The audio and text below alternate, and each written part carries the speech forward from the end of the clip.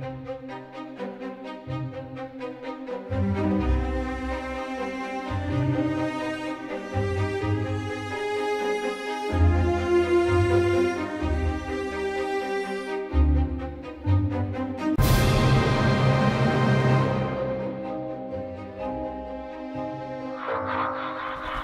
So I'm just going to give a general overview of some of the more commonly prescribed benzodiazepines and a few clinical pearls, what makes each of these medications unique. There will be separate videos on each of these medications.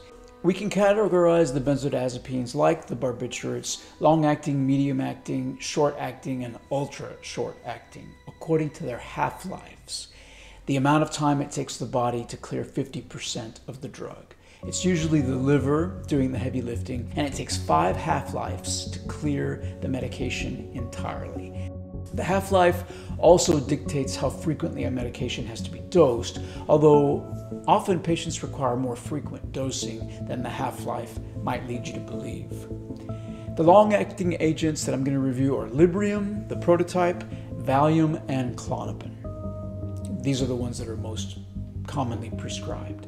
Librium the first benzodiazepine that was discovered, it developed by accident with an elimination half-life of 24 to 48 hours. It's approved by the FDA for anxiety disorders and symptoms of anxiety, including preoperative apprehension, quote unquote.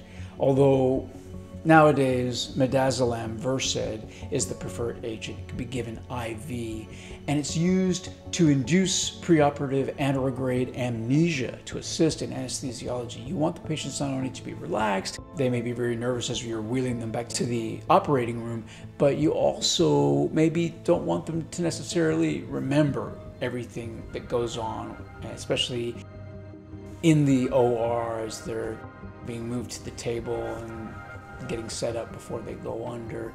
It's just not necessarily pleasant memories. And so it's good to reduce a little bit. And Versed has a lot of amnesia with it, so it's favored. It's also approved to treat the withdrawal symptoms of acute alcoholism. And Librium, because it's the sort of the classic agent for that, appears to be the go-to agent even today. Although again, any benzodiazepine would work. It's really GABA that's coming to the rescue. And I saw that patient who would have probably died from status epilepticus due to DTs. He was treated very successfully with six milligrams of IV Ativan. So Valium has a half-life of 24 to 48 hours, so it takes several days to clear it. It's FDA approved for the treatment of anxiety disorders, symptoms of anxiety as well, this time with the caveat of short term only. And that's because the studies that were done that were shown to the FDA by the manufacturer, they only had short term data, or the long term data maybe was mixed, or there was some concern. They couldn't prove that it was safe and effective in the long term. Who knows? But there's a little caveat for Valium, but not for Librium. But again, that doesn't mean that in reality, that Valium is only good for the short-term treatment of symptoms of anxiety and not long-term like Librium. No, you can't make that assumption. That's just what the FDA has sanctioned. We use these medications off-label for a lot of things, and if you know, I'm just I'm just telling you what they're FDA approved for, just for the sake of being complete. But these are not. They shouldn't guide your clinical decisions. Certainly, clinical decision making always has to be guided by what is going on with the patient. Uh, Valium is also approved for the treatment of acute alcohol withdrawal symptoms specifically, and these are listed symptoms of acute agitation, tremor, and impending or acute delirium tremens, including hallucinosis, which is a feature of alcohol withdrawal delirium. Valium is approved for the treatment of skeletal muscle spasms due to reflex spasm to local pathology. It's a favorite among clinicians to treat muscle spasms. Again, these medications, they all tend to work the same way, but clinicians tend to develop certain prescribing habits.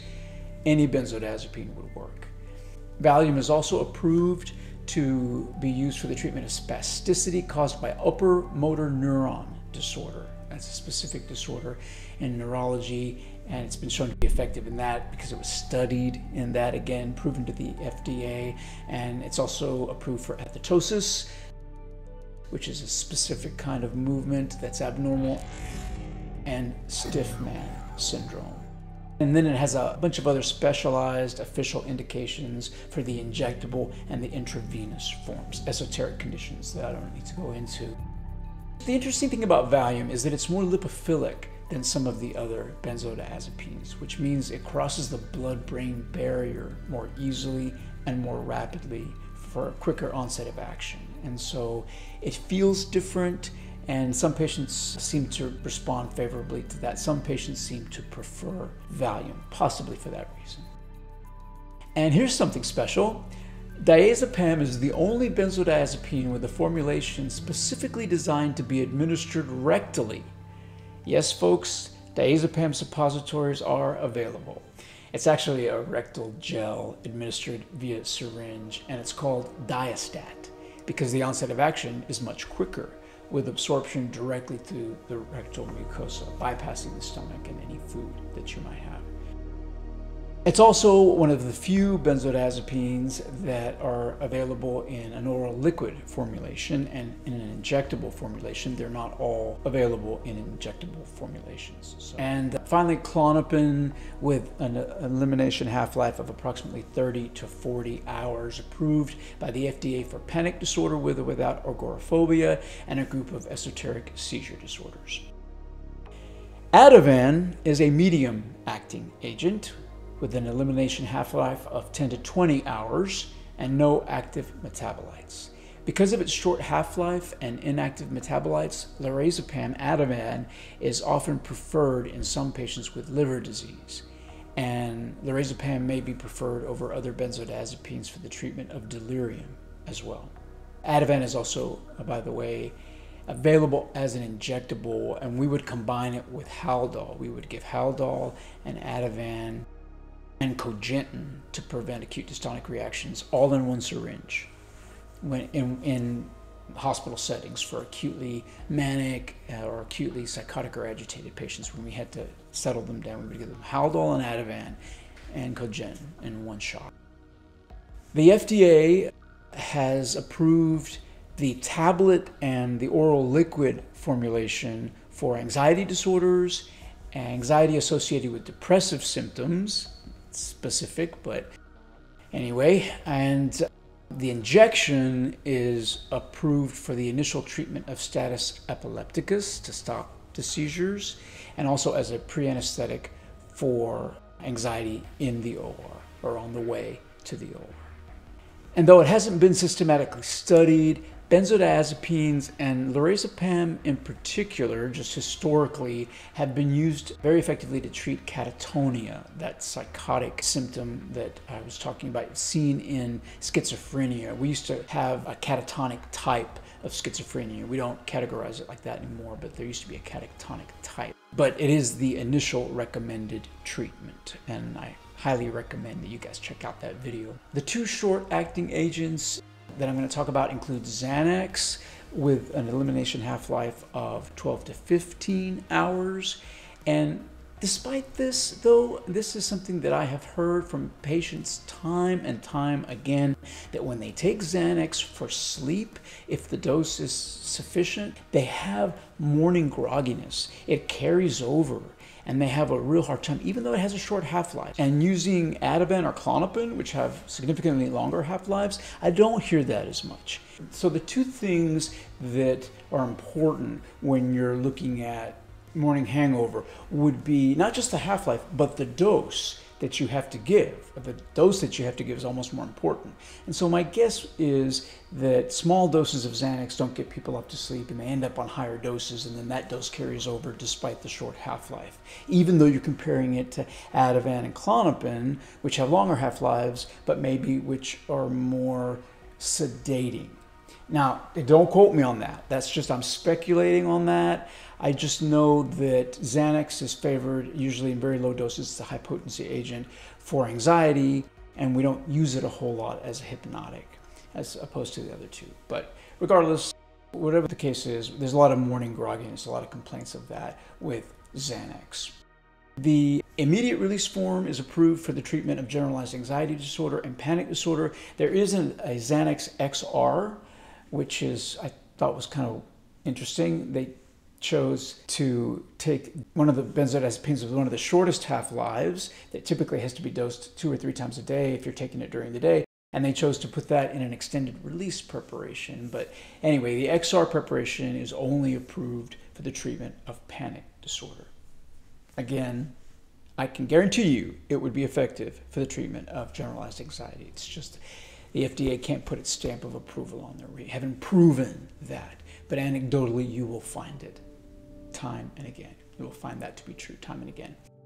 One of the most popular benzodiazepines for anxiety, it's very popular among primary care physicians and psychiatrists. Again, you know, we get into these ruts. We tend to choose Librium for alcohol withdrawal. We tend to choose Valium for muscle spasms. We tend to use Ativan for patients who are delirious or catatonic. And Xanax is the favorite for anxiety. But there's something about Xanax I have another video called Everybody's Favorite. So check that out. Everybody loves Xanax. And I, and I won't say everybody loves Xanax. I'll say this. I've treated a lot of people with Xanax, and then for whatever reason, we switched to another agent, maybe because we need a longer half life or whatever the case may be. And many, many, many times, I can't even count the number of times, patients will come back and they say they want to switch back to Xanax. Xanax, quote unquote, felt better. And so, even though they're both equally effective at reducing anxiety, and I just think there's a sense of well being that people get with alprazolam that they don't get certain people, maybe not all people. Benzodiazepines, for me, they just made me sleepy. I, I didn't understand where the party was. I always said, I want to be awake for my party.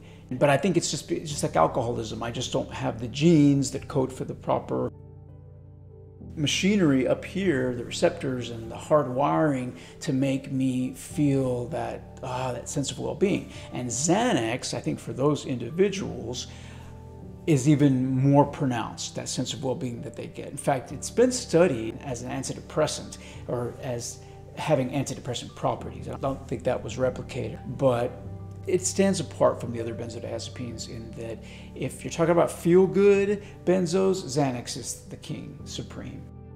Xanax XR might be less sedating than the immediate release preparation, which kind of makes intuitive sense. The Xanax XR preparation generally has a longer biological duration of action than Klonopin. Klonopin we often think of as the long-acting Xanax. And a lot of times we will go from Xanax to Klonopin when we need something that's going to be long acting, it's going to last all day, so that a patient isn't having to excuse themselves to continue to take medication throughout the day for panic disorder, for example.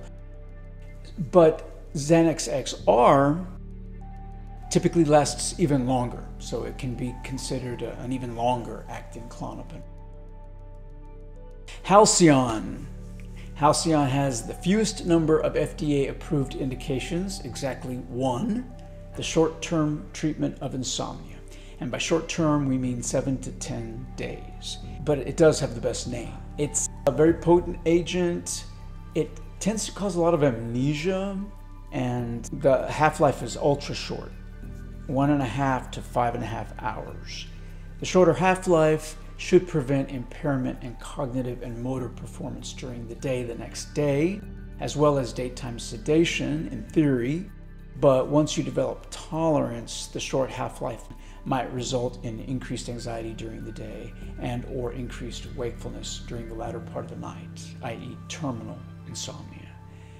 So it's not used very much, I don't think. I certainly haven't used it very much. And I don't know if the short term caveat has placed a chilling effect on Halcion, but it's just, it's not recommended for long term use. As I said before, long term treatment of insomnia with benzodiazepines is controversial. Anterograde amnesia may be more likely with triazolam. Again, it's notorious for that, which reminds me of Ambien and also hallucinations and unusual behaviors or agitation in certain vulnerable patient populations.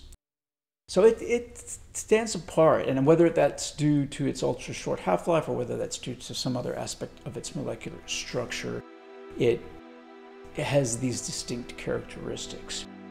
When you stop it, rebound insomnia may be a particular problem. And again, that reminds me of Ambien, which also has this short action.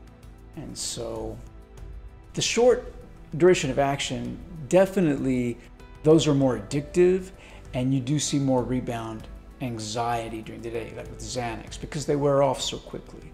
And so there is an association there. The craving, either physical or psychological, for these medications does seem to vary inversely with their half life. The shorter the half life, the greater the potential for rebound and the potential for physical withdrawal.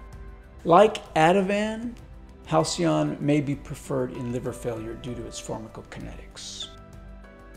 And finally, Tranxene chlorazepate. It's not a PAM, but it is actually a benzodiazepine, a prodrug, which is rapidly metabolized to the long-lasting desmethyldiazepam.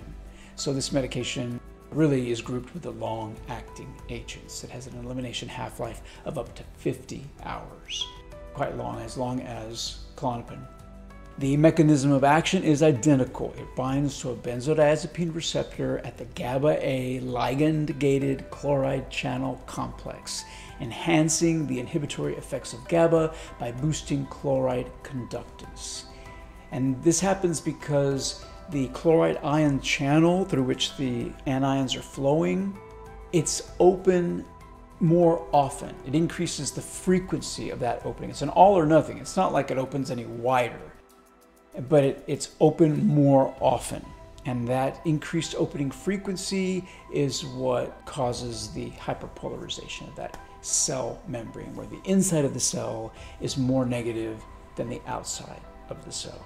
And so it takes a lot, it takes a bigger stimulus to invoke an action potential which relies on that reversing.